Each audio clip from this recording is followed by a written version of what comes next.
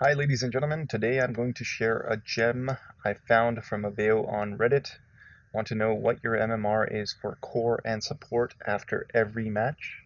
Well sit back, relax, and do this to get an update after each game. The link to AveYo's post will be in the description below, along with a link to the GitHub where how to do this is also explained. If it doesn't work, feel free to ask in the comment section below. I will try to help best I can. Now, let's get started. First thing you want to do is open your Dota 2 directory. The easiest way for you to do this is to open your Steam library window, select Dota 2, right click Properties, then Local Files, then Browse Local Files, and you should end up here.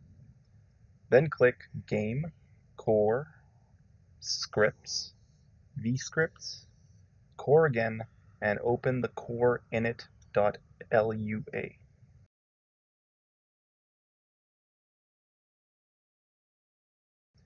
It will be empty other than this message. Copyright Valve Corp, all rights reserved.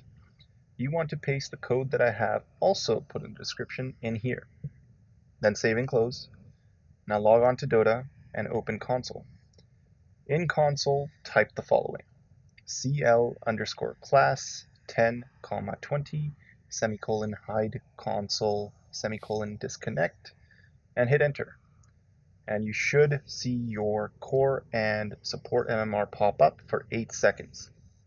If you don't know how to open console or how to get console in Dota 2, I've got a video for that and I'll link it above, so feel free to check that out and you can add your console to your game.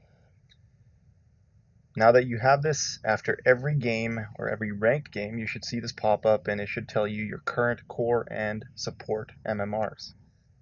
As always, Thank you for watching the video. Please like this video to help other people discover it and subscribe with notifications so you know when a new video comes out or I go live.